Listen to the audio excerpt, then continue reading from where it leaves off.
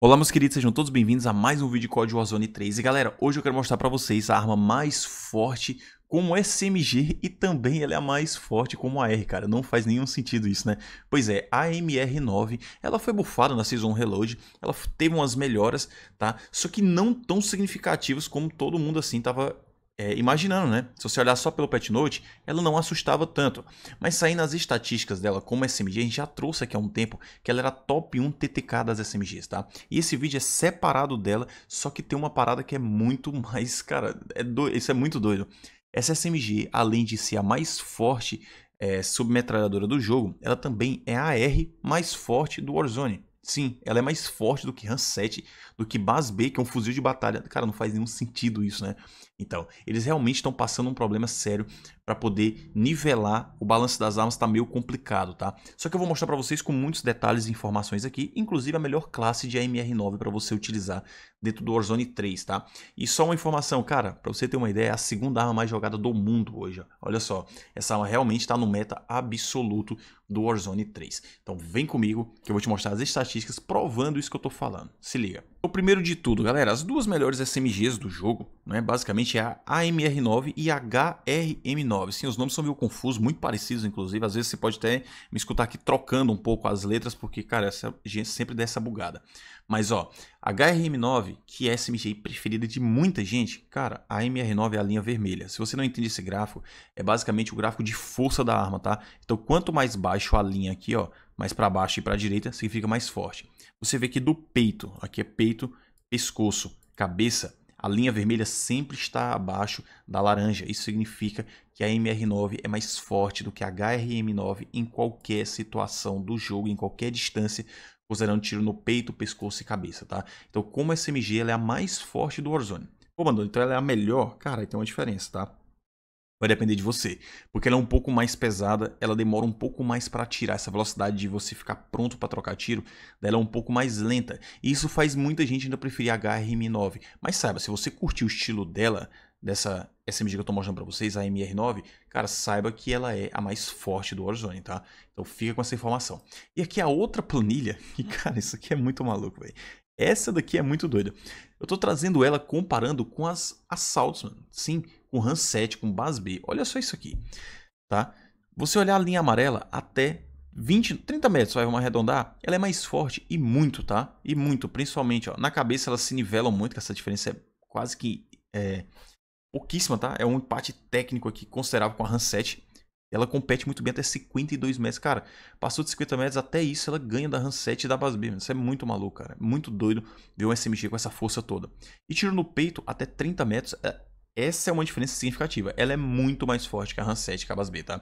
Você vê um degrau bem considerável entre elas. Aí ela tem uma leve perda assim, ó, entre 30 metros e 35 e logo depois ela ganha das duas em qualquer situação. Na melhor das hipóteses, a RAM 7 empata com ela.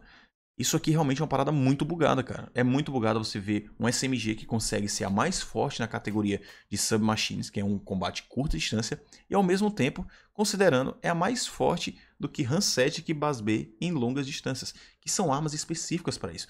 Uma coisa para você ter uma ideia do quanto isso é confuso, é como se a 7 do nada virasse a SMG mais forte do Warzone. Tipo, não faz sentido, né? Pois é, a MR9 está competindo com essas armas aqui também não faz nenhum sentido.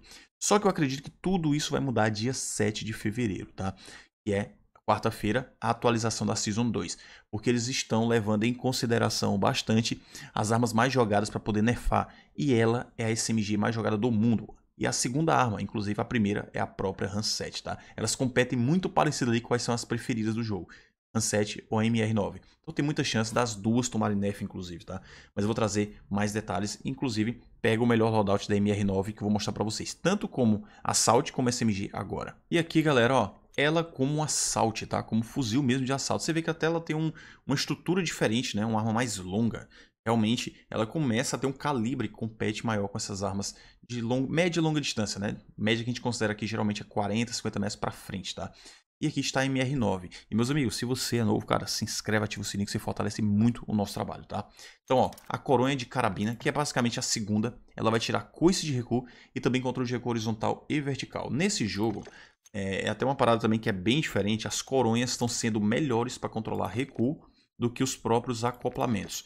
Então vai ser muito comum você encontrar vários loadouts das armas sem acoplamento e a galera focando em coroinha, tá? Porque as coroinhas estão sendo mais interessantes. Só para você ter uma ideia, essa daqui tira 12% de recuo.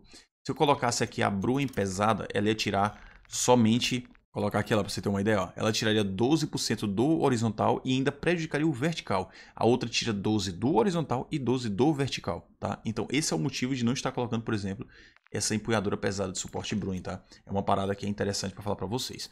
Mira 2,5, isso é muito de vocês, tá? Eu coloquei ela aqui focado mais uma longa distância, mas se quiser usar uma lentezinha aqui, ó, focada, por exemplo, na ressurgência, né, que tem sido o modo preferido de geral, é que eu sempre recomendo para vocês Nidar, cara. Nidar ou MK3. Uma das duas vai do seu critério, tá bom? Ela realmente fica muito forte. O cano aqui é onde as coisas mudam, tá? E é onde praticamente você tem que ser obrigado a fazer isso. Existe esse, mas não compensa tanto porque ele tem silenciador, então não vai deixar você aumentar o alcance e dano da arma lá. E tem esse outro aqui. E, pô, se você observar, ele vai dar alcance de dano e velocidade de projetos e controle de recuo. Isso aqui é um comportamento que está acontecendo bastante em alguns canos de fuzil de assalto. Então dá para ver que é um cano que é para transformar ela mesmo em uma arma de distância mais longa, tá? Você vê que o alcance de dano mínimo dela é 50 metros, cara. Isso é muita coisa com SMG. Muita, muita coisa. E aí já fica até a deixa. Qual o melhor suporte de sniper do Warzone, tá? Aí eu jogo de sniper, eu quero uma arma para jogar junto com ela. Cara, a MR9 assim, sem nem pensar duas vezes, tá? Ela é poderosíssima, tem um alcance de dano absurdo e vai valer super a pena. Quer uma arma um pouquinho mais ágil, mais rápida e forte pra caramba? HRM9, tá? Que eu vou mostrar rapidinho pra vocês. Na boca você pode colocar o Jack BFB para tirar bastante controle de recuo. Mas se você não acha que está difícil e quer mais alcance de dano, existe esse silenciador aqui, ó. É o silenciador pequeno Sonic, tá? Vai dar mais alcance de dano ainda, cara. Você vai extrair o máximo possível da arma para você ter aquelas estatísticas ali o mais forte possível que eu mostrei para vocês, tá? Então pode focar nele, ele é muito, muito bom. E aí, se você usar ela como AR, aí eu recomendo 100 projéteis, né, cara? Porque ela já vai competir, cara, com PKM, mano. É uma parada já muda o nível, entendeu? Ainda tem 100 munições, cara. Isso é muita coisa, velho. É realmente bugadaço. Isso aqui é muito roubado, porque, pô, tu pode ter uma arma, uma mesma arma, transformar ela em SMG, em AR e ser a mais forte. Isso aí é, é a primeira vez que eu vejo algo assim, tá?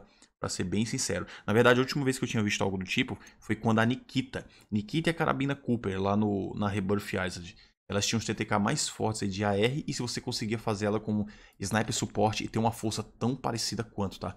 Isso aí que eu lembro, tá bom? Os kits de vantagem eu sempre mostro pra vocês, ó, que são esses aqui, tá? Você pode copiar, realmente eles são muito bons para você jogar na Ressurgência ou até mesmo no Zigstão, tá bom? E agora o principal, né, que é o foco eu quero trazer para vocês. Eu já trouxe ele na lista de top 10, por isso que eu vou mostrar ele praticamente para vocês tirar um print, tá?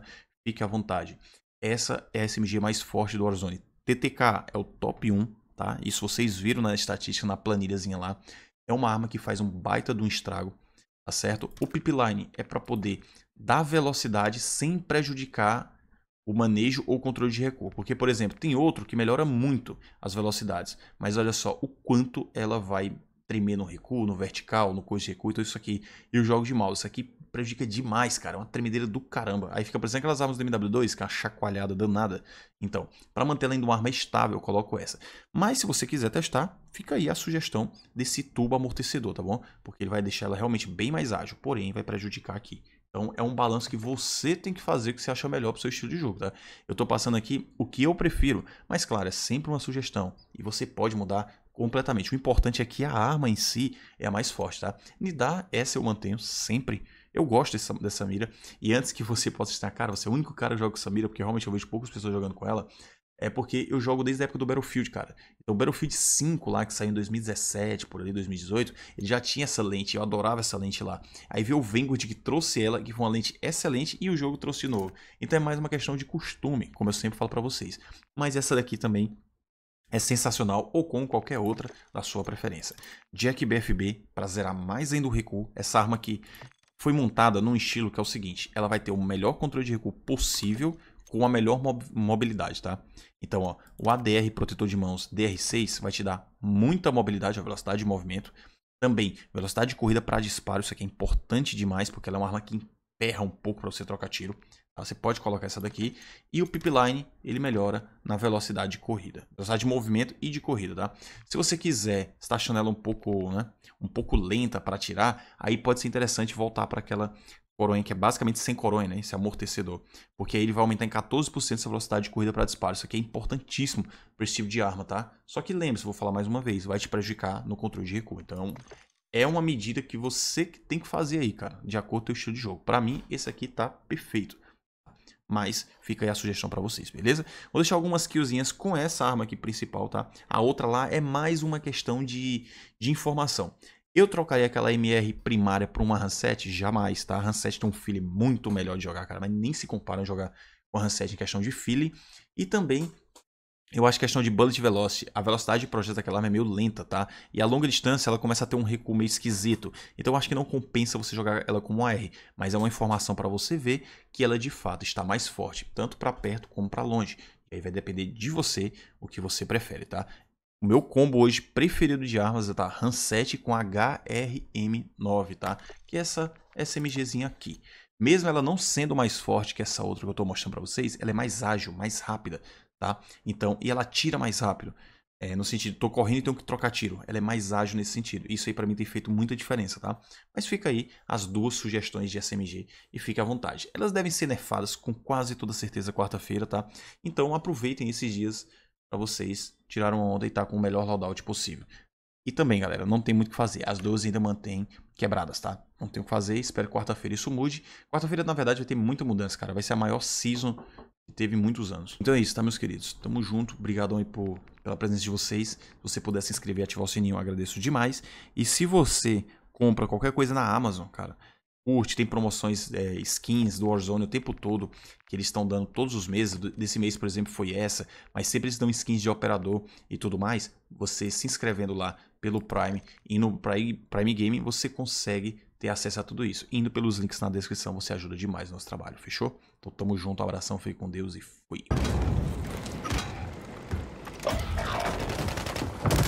É, ele tá achando que é Deus.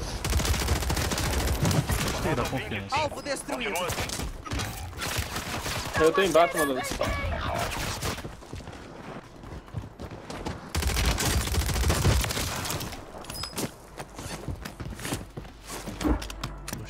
Confiança dele, pelo menos. A ressurgência já era. Sem mais segunda chance.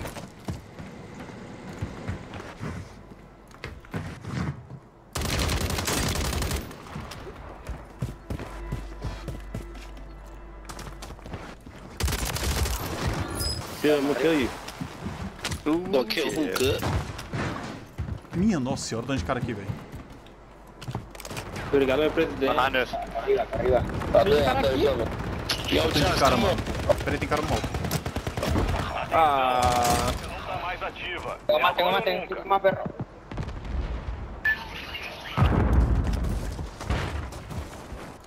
Perro, eh, he's in the water. Right here. Mano, eu demorei a ver o cara. Okay, come over here. Movendo. Come over here. Ah, não. Tirato de cochino, tío de puta, oh.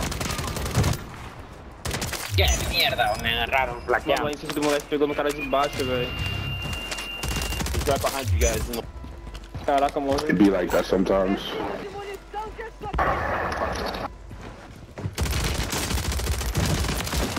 Usa o mapa tático pra achar o resto deles. Vai vir aqui, Confirmado, já achei o resto deles. ó. Muito forte. O outro lá na porta. ó. Yeah, let's buy another loadout. Caraca, tá de vante?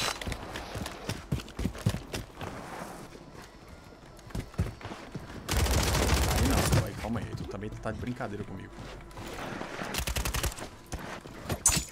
Soldado inimigo Foi chegando. marcado aqui, foi marcado.